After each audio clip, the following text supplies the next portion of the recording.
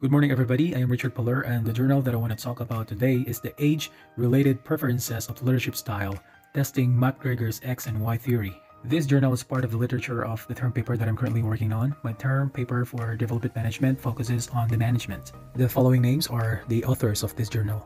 Let me present to you the abstract of this study. In today's aging world where companies are facing an increasing share of older employees, it has become essential to understand the preferences and potential of this emerging group of workers. The focus of this research is to identify the age-related preferences of leadership using Theory Y and X developed by Douglas McGregor. The results suggest that the majority of employees prefer Theory Y management style over the Theory X style. Regardless of the age of employees, evidence shows that the results were in favor of Y Theory management style. In addition, results capture the reflection of the preferred leadership style in relation to turnover, trust, and job satisfaction of employees. Before we dig deeper about this study, let me share you a little background about X and Y theory. In 1960, Douglas McGregor formulated Theory X and Theory Y, suggesting two aspects of human behavior at work, or in other words, two different views of individuals, one of which is negative, called as Theory X, and the other is positive, so called as Theory Y. According to McGregor, the perception of managers on the nature of individuals is based on various assumptions. In Theory X, an average employee intrinsically does not like work and tries to escape it whenever it's possible. Since the employee does not like work, he must be persuaded, compelled, or warned with punishment so as to achieve organizational goals. Many employees rank job security on top, and they have a little or no aspiration or ambition. Employees generally dislike responsibilities, employees resist change, an average employee needs formal direction. In theory, Y employees can perceive their job as relaxing as normal, they exercise their physical and mental efforts in an inherent manner in their jobs. Employees may not require only threat, external control, and correction to work, but they can use self-direction and self-control if they are dedicated and sincere to achieve their organizational objectives. If the job is rewarding and satisfying, then it will result in employees' loyalty and commitment to organization. An average employee can learn to admit and recognize the responsibility. In fact, he can even learn to obtain the responsibility. Now let's jump on the findings of this study. In graph 1, this shows that um, the participants in the survey were mostly males, or 64%. As presented in graph 2, 35% of the survey participants' employees are in the age of group 50 years and above. From graph 3, we can see that 46% um, of employees finished secondary school and 42% from the employees have finished graduate studies. It's kind of weird because here in the Philippines, majority of our workers here are degree holders, while in, you know, in other countries, um, most of their employees are only high school graduate. Here in Graph 4, we can see that 64% of survey participants have more than 8 years of experience in the company. In Graph 5, 75% um, of the survey participants answered that they have never been managers. Now, here's another graph here. As you can see, it's a bit complicated. It's not a typical graph that you can see, but I will try to explain to you how this graph works. So as you can see, it has four corners. Uh, first, we have intrinsic motivation. Next is turnover intention. Next is trust in the organization. And the last one is the satisfaction with organization. As you can see, it says four layers of diamonds. So the smallest one is the 0.00, the second one is the 1.00, the third one is the 2.00 and uh, the fourth one is 3.00. So I think I'm not going to explain to you each graph because um, this will be explained at the discussion. But now I'm going to jump on the discussion of the study. So this research has been conducted through a questionnaire which has been distributed to the employees within the company and the results show the following facts.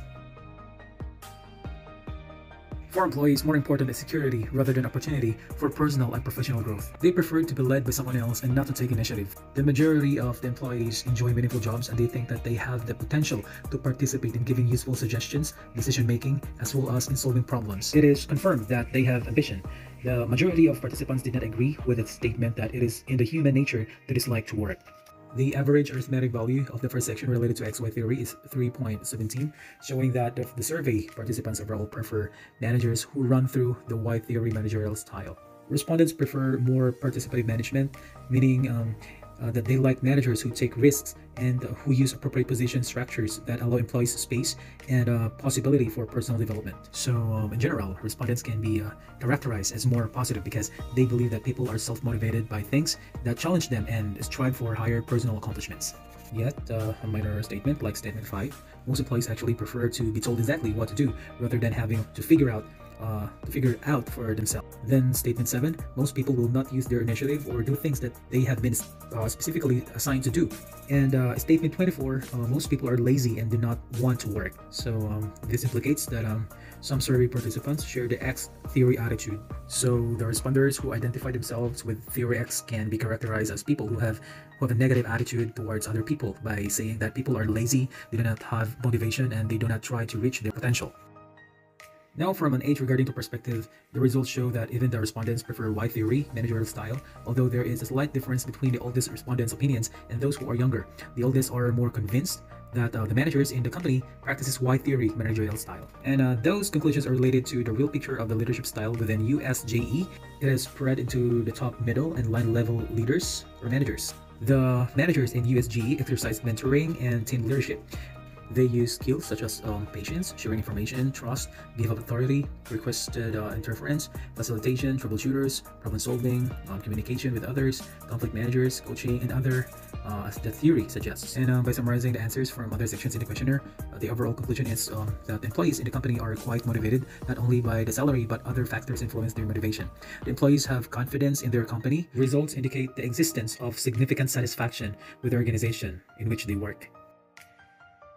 And by aging differentiation, the results show that the younger and older employees share the mutual opinion that the company pays a lot of attention to the human factor with the company as a basis for performance improvement, which considers other motivation factors. Some of them include education through various training programs and learning programs, which contribute to the improvement of employees' professional and personal performances in all levels. And here, thinking to seek other work or having ideas about leaving the company is more evident in the first group, um, 20 to 29 years old, and same with uh, the third group, uh, which is the 30 to 39 years old. So it shows that these two groups have some doubts and thoughts which can be transformed into intention to leave the company. Um, on the other hand, uh, it does not mean that they are not satisfied with the company, having in mind the fact that many of them do not express their opinion, or maybe um, for the employees from 40 to 49 years, we can say that they are less motivated than others or feel neglected and uh, less valuable.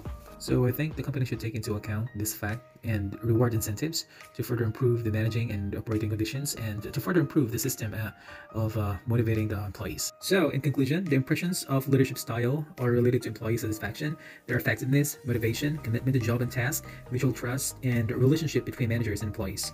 So this shows that Y theory of management style prevails and that contingent motivation factors are different than salaries like rewards and appreciation are the most important factors in establishing high leadership style and the well-being of the employees. Moreover, the analysis showed that trust and satisfaction within the organization is on a very high level within all generations in the company. This is a result of a healthy environment which exists in the company at all levels. There are rules and regulations for employees to follow.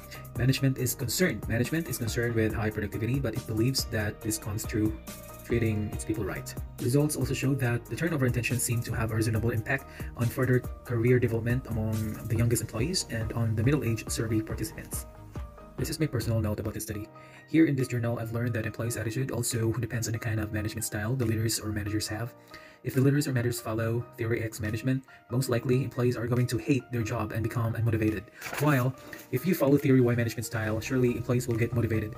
So as you can see, th their behavior at work is really affected by the kind of management style the organization has. I've also learned that no matter what age, employees will prefer to choose a management style that doesn't only focus on the salary, but also to rewards, personal growth, development, well-being, and uh, the healthy environment. The only reason why some employees leave in the company is that they wanted to explore and get better career opportunities. And older employees leaves because of personal insecurities. They feel like they are unwanted because of their age and the degree of their work. So this ends my report. Thank you so much for listening.